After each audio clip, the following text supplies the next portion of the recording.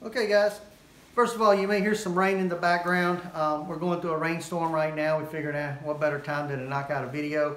So I wanted to bring this to you. I know many of you may have these UCP, Universal Camouflage Pattern uniforms and think that they're pretty much so worthless because they don't blend in within your environment. And I totally agree. I ended up with seven, eight, ten sets of these that were given to me for free and I know that they're readily available. You can get them for almost nothing, if not free, because these are being dumped from military um, stocks into the civilian market and they're really not being used that much anymore. Uh, it's an excellent cut of uniform. I love all the features that the ACUs offer, but again, in this pattern, they don't blend in in most environments here in the U.S. So I decided to experiment a little bit. I think I've, I've kind of finalized the process so that we can turn these from what you see here to this. We've simply dyed this uniform and we've taken what was a fairly ineffective camouflage pattern and turned it into a quite effective summer camouflage pattern for a woodland environment. We'll have some uh, video here at the end of this showing some quick clips of this being used in an actual outdoor environment so you can see how well it works. But for about $7 worth of materials, you can dye a complete uniform, maybe two, and change them from that non-functional UCP to BCP, Bruce Camouflage Pattern. So we're going to start out with our RIT liquid dye. Make sure you get apple green. There are a lot of other colors of green available out there. Apple green is what you want. All the other colors don't give you the right shade of green to blend in with your environment. Apple green is what you want in the liquid dye. Now if you read the directions on this dye, it'll tell you that depending on whether it's the material is made of cotton or nylon, you want to use salt or vinegar. Well, ours is 50-50 Nyco.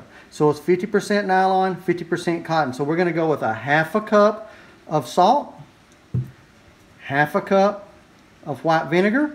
You're also going to need some kind of stir stick and this will obviously get dyed as you use it, so don't use anything that's going to be good or reused.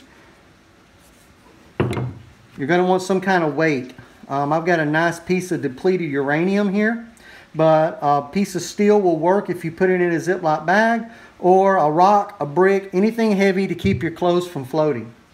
Lastly, you're going to need about three gallons of water in a big uh, pot. If you don't have one of these Mexican tamale pots, then um, you can even use a five gallon plastic bucket and just um, heat your water in a small pot and continue to pour that once it's boiling into the five gallon bucket until you've got about three gallons of water. Um, we're going to put this on the uh, stove now. We're going to bring it up to a boil and um, once it's boiling we'll start adding these other materials in. Okay, we got our water up to a boil. We're going to add half a cup of vinegar I'm going to add half a cup of salt. I'm going to add our dye, entire bottle.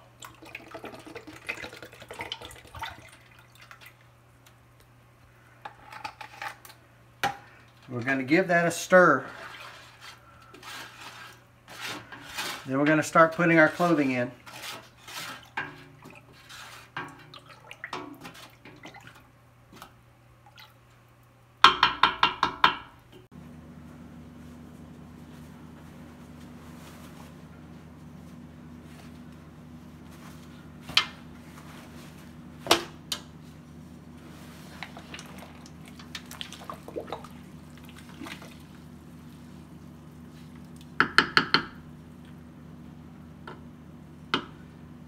All right, so we're going to add our camouflage clothing now.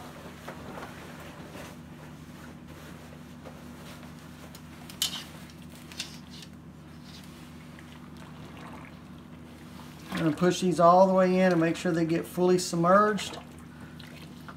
There's no dry spots.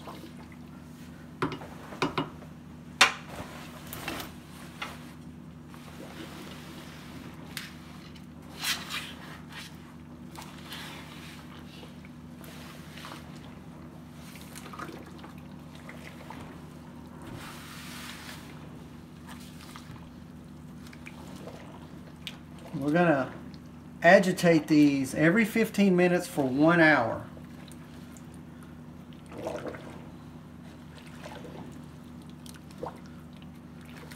Okay, those are fully submerged.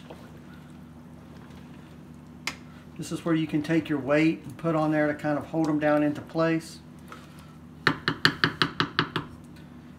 Because they will try to float up. Alright. We're just going to let these sit.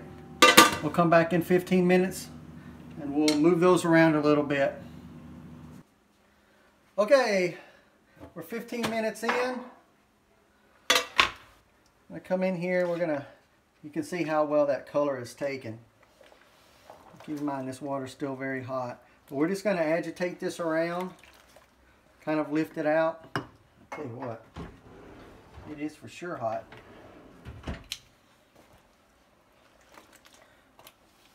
We're just gonna agitate this around and uh, stir it up a little bit to make sure that the dye is setting into all the little nooks and crannies of all the material and we don't have any dry spots.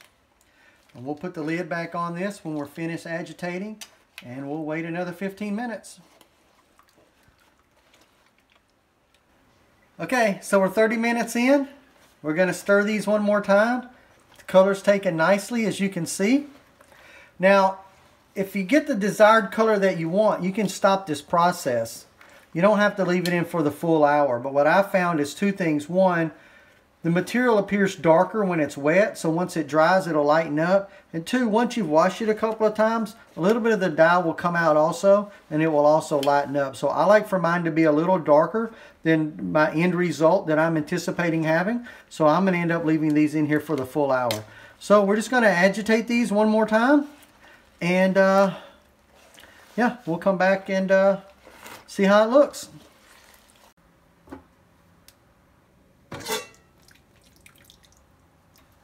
Okay guys, we're 45 minutes in.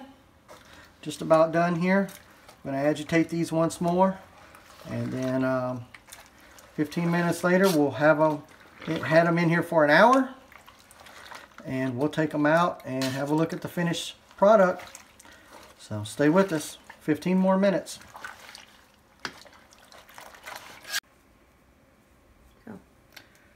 Okay, so we're an hour in. We are going to take these out.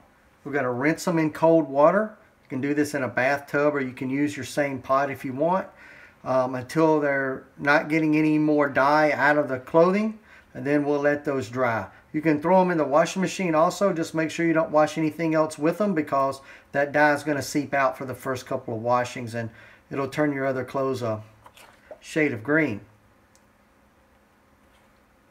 that's basically it, guys. Um, well, stay tuned. We're going to take this out tomorrow and actually uh, get it out in the sunlight and show you guys how it looks. So, uh, well, yep, once we get these rinsed out and dried, that'll be the next part of the video.